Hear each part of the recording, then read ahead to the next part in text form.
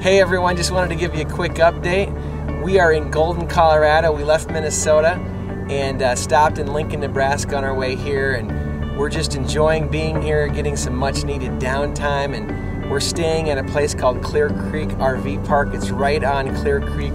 Uh, there's a river that runs right through it. We've been jumping in the river and having some uh, just a blast the last week with some friends that we had made in Minnesota who are on who were on vacation here and met some new friends, Randy and April and his family. And he's a youth pastor uh, here in Highlands Ranch, and so that's been a blast.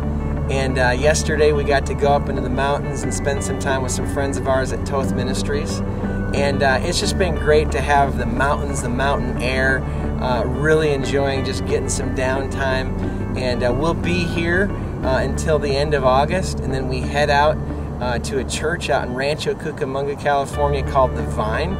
And uh, we're excited about being with them. We speak there on September 5th. And so we're looking forward to being with them. So thank you so much for your support and for your thoughts and prayers.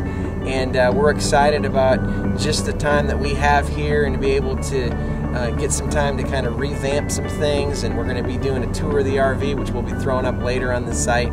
So uh, thank you so much for all your thoughts and concerns for us.